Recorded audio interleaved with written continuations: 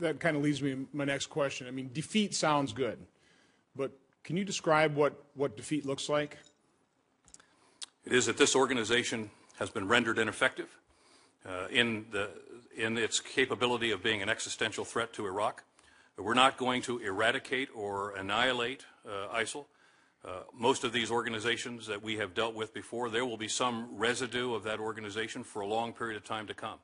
But we don't want it to have operational capabilities that create uh, the opportunity for it to threaten the existence of Iraq or other states in the region.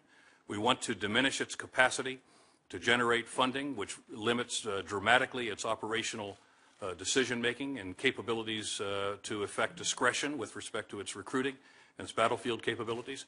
We want to compete with it and ultimately uh, overcome or defeat its message in the information sphere, Uh, where it has achieved uh, significant capability and, and, uh, uh, and recruiting prowess. So across the, the many different measures of our lines of effort, we have uh, a sense of what we want to do in the physical sphere, how we want to deal with them in the financial sphere, and ultimately how we want to deal with them in the information sphere. And all of those together constitute, will constitute the defeat of ISIL.